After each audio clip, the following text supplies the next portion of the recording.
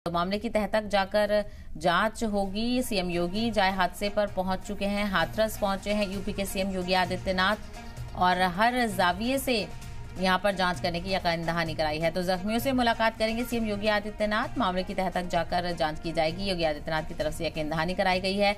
और बाबा के खिलाफ भी सख्त से सख्त कार्रवाई की जाएगी। बाबा की तलाश लगातार जारी है। एसटीएफ को भी ज़िम्मेदारी सौंपे जाने की बात कही जा रही है कि एसटीएफ भी इसकी ज़िम्मेदारी संभालेगी और मामले की जाँच करेगी। तो मामले की तह तक जाकर जाँच की जाएगी।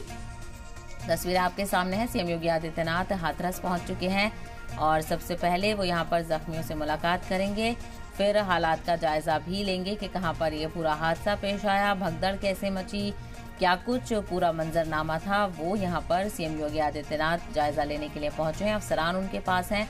अफसरान को भी ज़रूरी से, ज़रूरी हिदायत सीएम योगी आदित्यनाथ की तरफ़ से दी गई है और हाथरस जाने से पहले सीएम योगी आदित्यनाथ मीटिंग भी कर चुके हैं और हर जाविये से उन्होंने जाँच का यकीन दहानी कराई है। तो जख्मियों से मुलाकात करेंगे सीएम योगी आदित्यनाथ और हर तरह से मामले की जाँच की जाएगी। तह तह तक यहाँ पर पहुँचा जाएगा।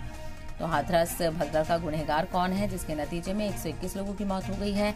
एक तो जो सत्संग के ऑर्गेनाइजर्स थे, उनके खिलाफ एफआईआर हो चुकी है। कई ऑर्गेनाइजर्स और सेवादारों के नाम एफआईआर में शामिल हैं और बाबा को लेकर भी कार्रवाई करने की बात कही जा रही है। हालाँकि जो सेवादारों की एफआईआर है, उसमें बाबा का नाम शामिल नहीं है, लेकिन कहा गया है कि बाबा के खिलाफ भी कार्रवाई जारी है और मैं उन